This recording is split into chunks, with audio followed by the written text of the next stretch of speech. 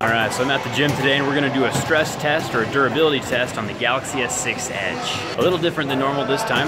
I'm not gonna bend it or scratch it or burn it, but I'm gonna drop some weights on it. I figure it's like a real world test that may possibly happen at some point in the future, and it's just good to know, you know, what would happen if you drop some weights on your phone. So here's the phone itself, it's working, everything's functional on it.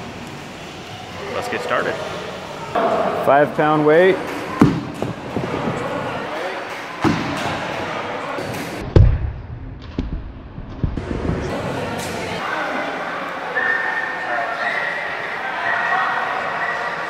Is a 10 pound weight.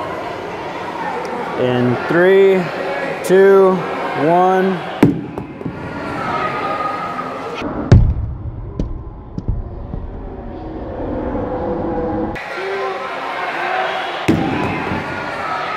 Smash the inside screen. Yeah, look at that.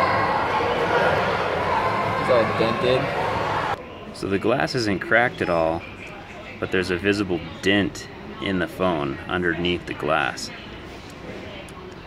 And I think that's what ended up killing the LCD. So moral of the story is don't drop any weights on your phone. If you do, make sure they're less than 10 pounds. Thanks for watching.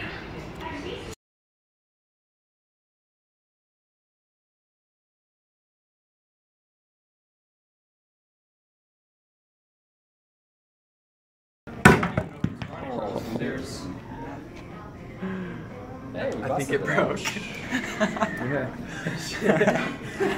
What? It was on purpose. Oh. It was purposeful. the weight drop in the background though.